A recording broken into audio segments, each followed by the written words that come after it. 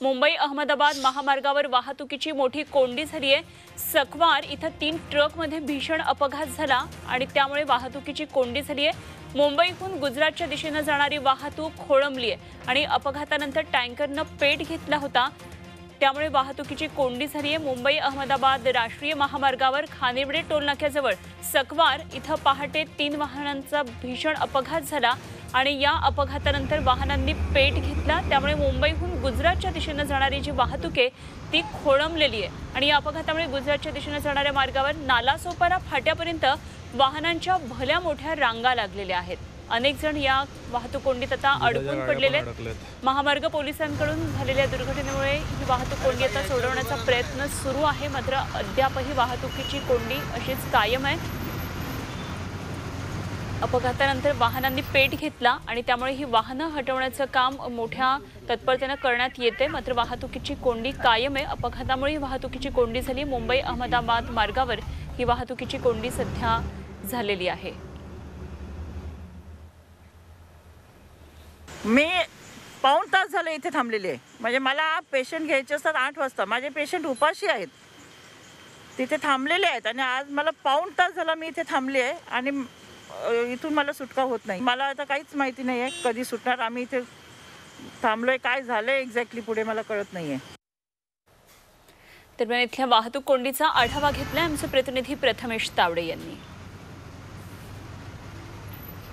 मुंबई अहमदाबाद महामार्गावरील सकवार येतं. चार वाहनांनी पेट घेतलेला असल्यानं संपूर्ण महामार्ग हा ठप्प झालेला पाहायला मिळत आहे मी ही दृश्य दाखवतोय. मी एका ट्रकवरती उभा आहे आणि माझ्या मागे जर तुम्ही पाहिलं तर संपूर्ण भली मोठी लांबच्या लांब रांगा लागलेल्या पाहायला मिळतात. अगदी सकवारपासून वि नालासोपारा फाट्यापर्यंत ही वाहनांची रांग लागलेली आहेत.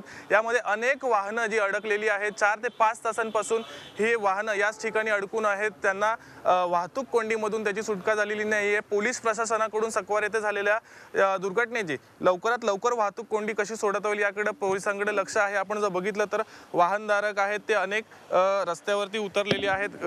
अनेकांना गुजरात पोहोचायचं आहे, आपल्या कामाचं ठिकाण गाठायचं आहे. मात्र झालेल्या वाहतूक कोंडीमुळे त्यांना शक्य होत नाही. आपण जर बघितलं या महामार्गावरती दुधाच्या गाड्या असतील भाजीपाला असेल या अत्यावश्यक सेवेमध्ये ज्या येणारी वाहनं आहेत तीही अडकलेली आहेत. त्यामुळं येत्या पुढच्या किती तासांमध्ये महामार्गावरील वाहतूक कोंडी सुटेल ही येणारा वेळच ठरवेल. प्रथमेश तावडे झिमिडिया विरार.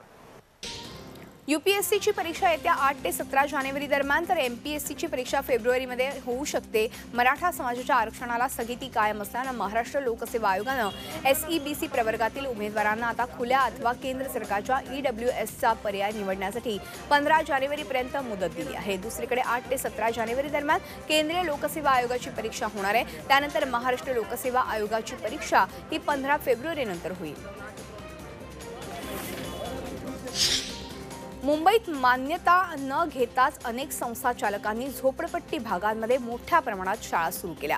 मुंबई शहरात दोनशे सहा बेकायदेशीरपणे शाळा सुरू असल्याचं मुंबई महापालिकेच्या यादीमध्ये आता उघडकीस आलंय.